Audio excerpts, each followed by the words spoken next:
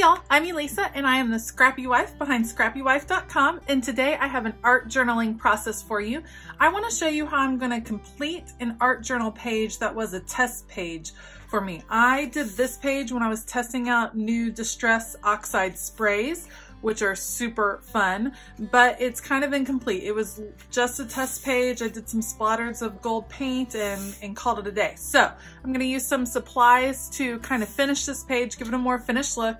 And then I think I may end up doing another art journal page, starting fresh and covering up some of the bleed through that came from one of my last pages. So I will put you guys on fast forward. We will get going and see what happens. All right, I'm gonna start with this Jane Davenport page from her paper pad that's available at Michael's, and you'll see me fussy cutting out this woman. I love this paper pad. I don't often use it for scrapbooking, but I use it all the time in my art journal. The pages are just so inspirational. They're easy to help you get an art journal page started, or in this case, help get one finished.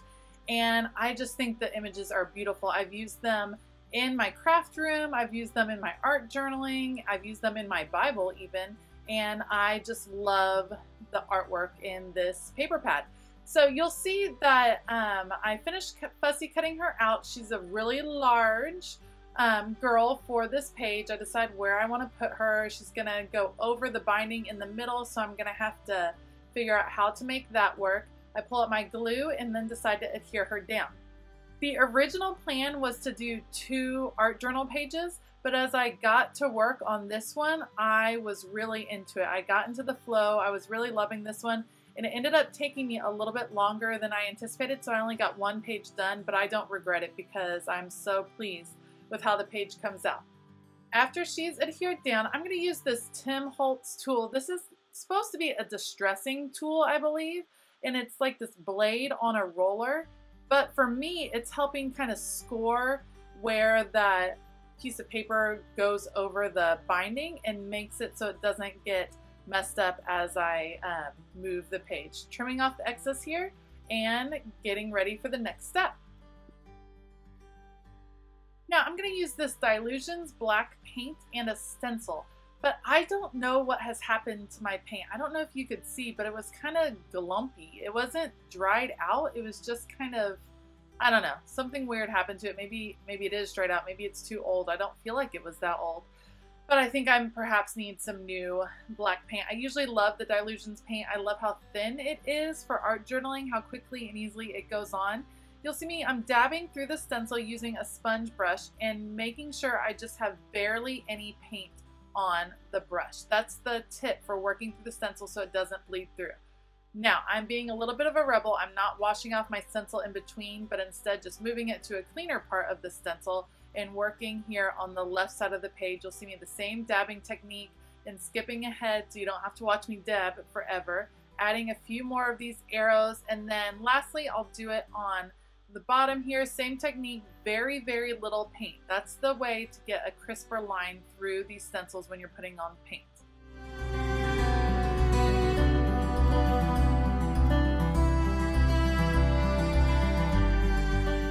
So after I did those few arrows at the bottom, I immediately regretted it. I just, it looks kind of funky down there. Just, I didn't like how it looked. Instead, I'm going to take some of this flower tissue paper. You'll see me use this in several craft projects. This is a tissue paper that I get from a company called By the Well for God, and it's not that I order the tissue paper. I order other things, and this is the tissue paper they wrap all of their orders in, and I'm obsessed. I love, love, love it. So I'm fussy cutting out a part of this tissue paper, and I'm going to use the Liquitex Matte Gel Medium to put it on my page and kind of cover up those arrows. In the end, the colors come through the tissue paper, but I'm okay with that. It makes it look a little less harsh on the page, and I end up liking what I have to work with at that point. Using my paintbrush to smooth it out as much as possible. It's not going to be perfect because it is tissue paper. It has wrinkles, but you can see it how the color is going to start coming through um, as I smooth it out and get good coverage. In the end, I also take a little bit of that Liquitex and go over the edges of my lady there to really make sure all of those edges are down nice and secure.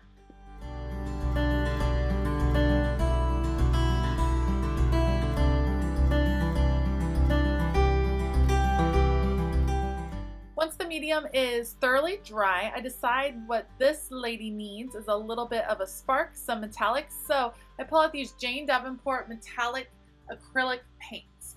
And I like them because they're not sparkle sparkle. It is a true metal kind of color. I'm gonna pull them all out and I'm gonna add some metallic accents on those flowers. And every time I add a color to the flowers, then I'm also gonna pull that color over onto my lady.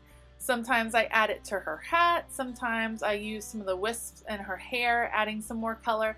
And I like that it makes her look more like part of the page. It customizes her to something that I am contributing to and creating instead of just cutting her out and pasting her in my art journal. It, it lets me um, lets me work with her a little bit more, but I didn't have to do all of the drawing myself. Just lets me be creative and add those metal accents like I like.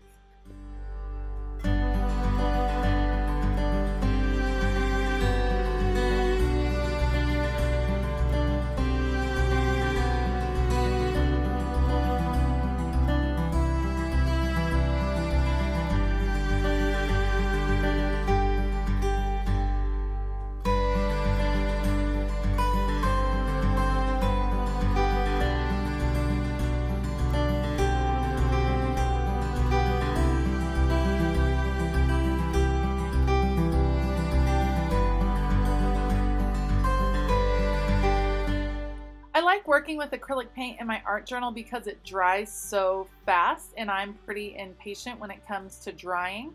So I, I really like working with it. The Jane Davenport line has a great variety of colors, so I've been collecting them. Plus, I just like the beautiful um, packaging they come in. It's very um, inspiring, and it when I just look at the paints, it kind of sparks creativity, which is something I think is important for art products.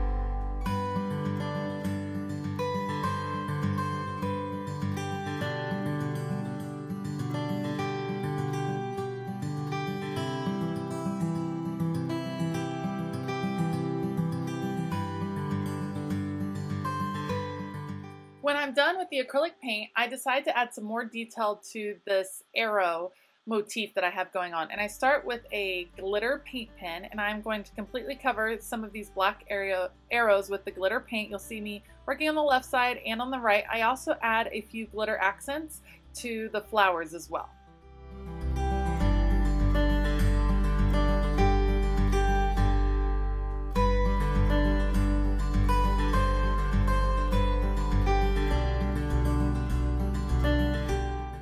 Next, I am using a gold Gelly Roll pen and adding an outline to some of the arrows. This one is very faint and hard to see on the video, but it does glisten really nicely in person.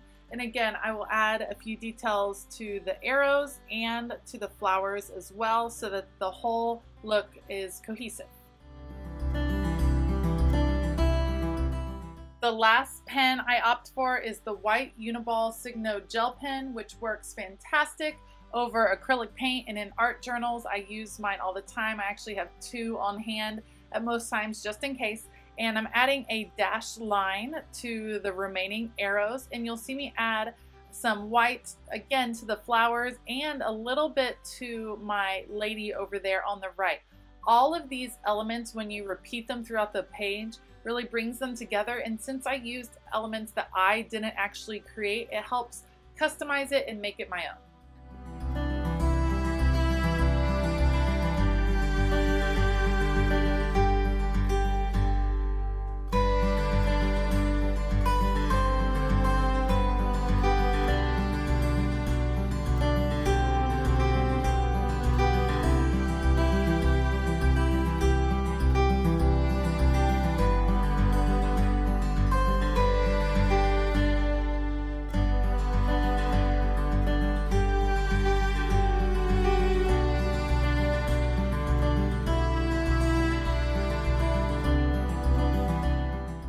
Last step for this art journal page will be to add a title and I'm going to add the title Go Your Own Way.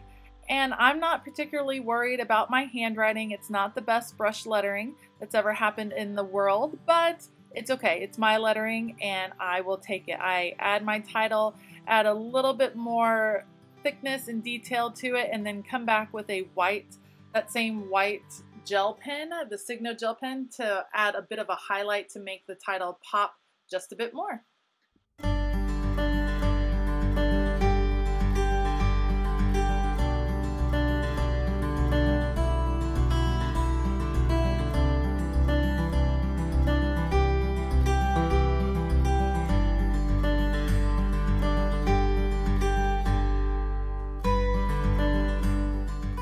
And with that, this art journal page is done.